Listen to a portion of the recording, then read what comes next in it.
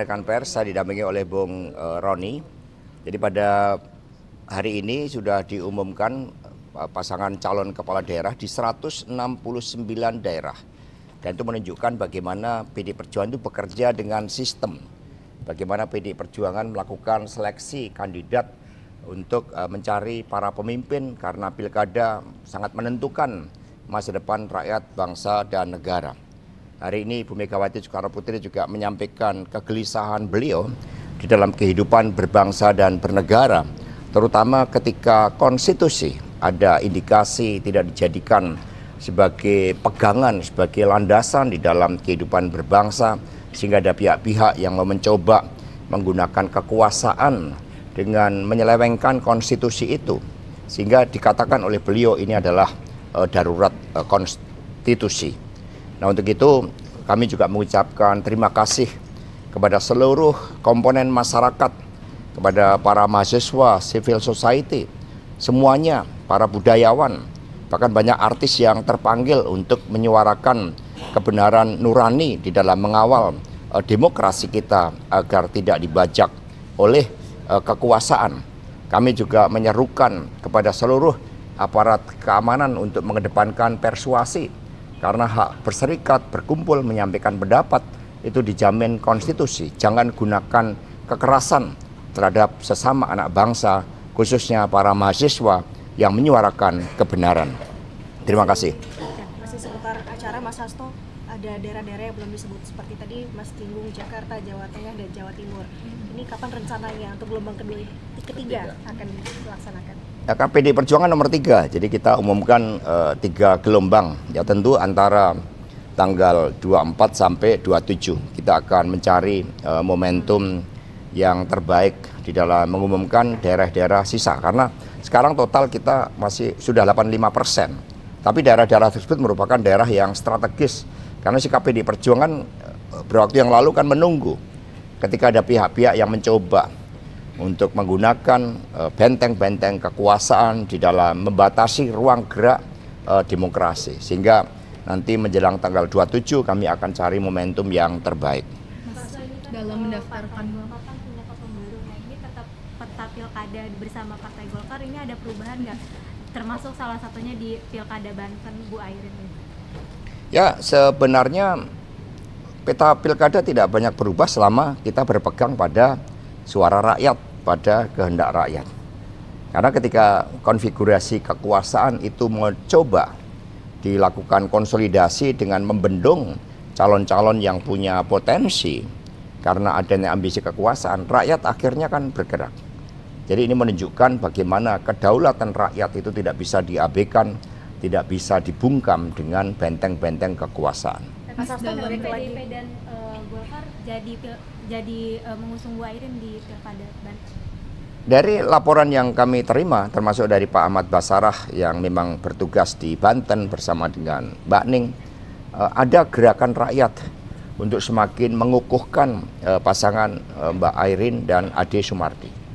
Jadi kami terus mencermati uh, dinamika tersebut dan ini merupakan hal yang positif karena ini adalah pergerakan rakyat sama dengan yang terjadi saat ini ketika di Banten apa yang menjadi aspirasi rakyat ini juga mencoba untuk dibendung, uh, maka rakyat akan menyampaikan suara kebenaran. Mas Hasto baik lagi tadi untuk acara. Tadi dalam pidatonya Bu Mega tuh sempat menyinggung nama Pak Anies, Mas Anies. Nah, tadi juga ada kalimat kalau mau bergabung dengan PDI atau terlatih dengan PDI jangan kayak gitu dong. Apa maksudnya apa makna dari Bu Mega berbicara seperti itu? Apakah ada hal yang dirasa kurang serak dari PDI melihat Mas Anies atau seperti apa? Ya tadi kan sebenarnya ketika mau masuk ibu melihat ada uh, yang menyampaikan aspirasi kemudian dengan uh, apa spanduk. Padahal sebenarnya datang saja disampaikan baik-baik. Dan siapa yang ingin mendapatkan dukungan dari PD Perjuangan? Tadi ibu kan sudah menjelaskan visi misi dipersiapkan oleh partai. Ada politik tata ruang ada upaya untuk menjaga kelestarian lingkungan keberpihakan pada wong cilik ketaatan terhadap ideologi terhadap platform partai sekiranya syarat-syarat itu nanti bisa dipenuhi tentu terbuka suatu ruang untuk bekerja sama. Mas dalam mendaftarkan kandidat ke KPU nanti akan memakai persyaratan versi MK atau versi DPR ya?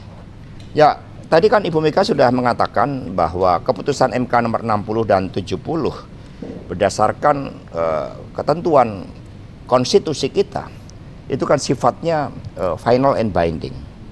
Sehingga PD Perjuangan uh, taat ya pada perintah itu. Kami akan mendaftarkan berdasarkan uh, keputusan dari MK, dalil-dalil yang telah ditetapkan oleh MK itu sikap uh, dari PD Perjuangan sebagaimana tadi ditegaskan oleh Ibu Megawati Soekarno Putri karena uh, cahaya demokrasi itu makin kuat.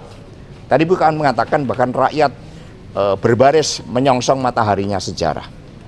Mas Hasto penegasan lagi tadi mengenai Mas Anies, jadi itu bukan perihal ketidaksukaan secara personal begitu ya, tapi dengan tadi yang ada di depan gedung DPP sendiri ya terkait dengan hal itu berarti penegasan. Ya Ibu Mega kan tadi mengatakan saya nggak pernah membeli orang, saya tidak pernah menyatakan ketidaksukaan pada orang.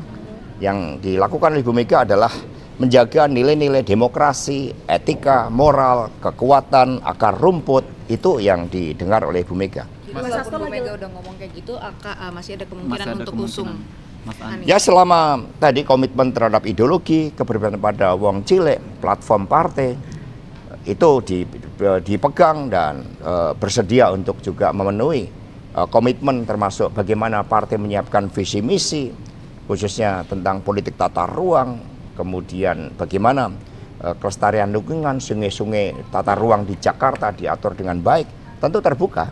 Tapi sudah ada komunikasi belum Mas dengan Mas dengan Mas Anies? Ah, Ada bahkan Pak Baskara juga eh, sudah bertemu dengan eh, Pak eh, Anies Baswedan. Berarti emang makin mengkerucut ke Pak Anies ya Mas Hasto soal kemarin Pak Masinton di DPR bilang kalau tanggal 27 Akan kawal bareng-bareng. Pak Anies Mengerucut ke suara rakyat. Ya. Nah, tapi Pak Anies eh, ada dapat ada tawaran ke Pak Anies buat jadi kader PDIP nggak sih Pak? Jadi bagi PD Perjuangan ya identifikasi kader ini kan pada komitmen tadi pada Indonesia yang berdaulat di bidang politik, berdikari di bidang ekonomi, berpihak kepada wong cilik, berkepribadian dalam kebudayaan. Kemudian bagaimana kita inilah negara untuk semua bukan untuk golongan tertentu. Ini yang eh, menjadi komitmen PD Perjuangan.